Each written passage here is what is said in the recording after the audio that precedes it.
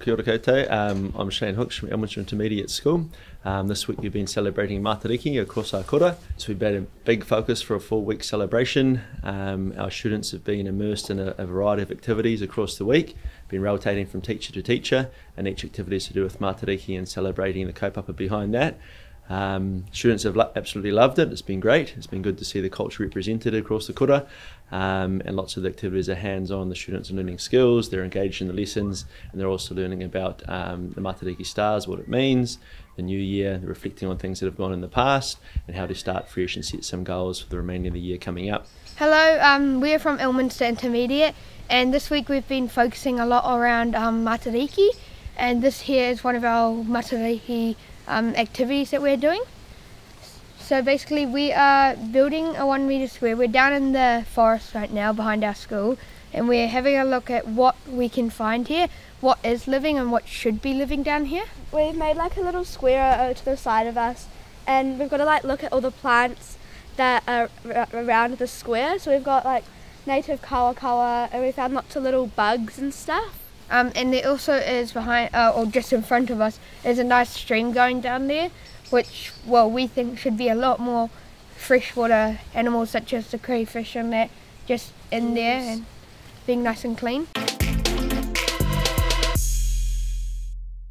Uh, so basically the game is poito. It's a, game, a multi-traditional game where you have to throw the poi down the field towards people holding the poles and if you the people holding the poles catch it, then you get a point.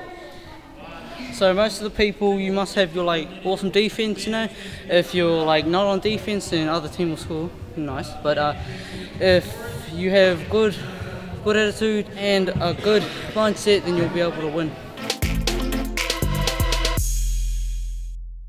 I did a koru and stars because it's represented by Matariki.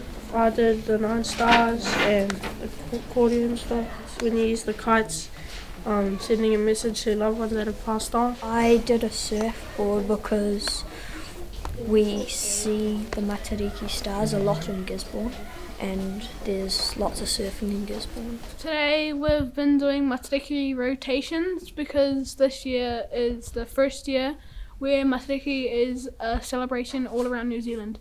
Today we done music um, based around Matariki, and yesterday um, we went down to Ngāhere to go look at things like trees and different foliage down there. Matariki is a time to come together with your friends and family and celebrate.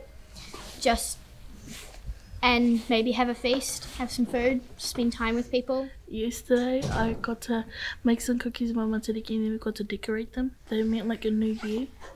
And we were reflecting, the art that we made, we were reflecting on the modern year and reflecting on the past year. I really enjoyed it this week. It was really fun. Um, one of our big focuses this year um, as a kura is looking at our um, cultural curriculum. Um, one aspect of that has been our school pepeha. So we had our kaumatua Bani um, done our pepeha for us um, at the start of the year, and the students have been learning that pepeha in, in, in terms of a waiata. So waiata has been put towards that, and that's been a big focus for us for our identity and where the kids are from, what we are as a kura and what we stand for, and then how can we build off that platform and um, build that culturally responsive curriculum as we move forward. Kia ora whanau, this is our Matariki week and we will be doing our school pepeha.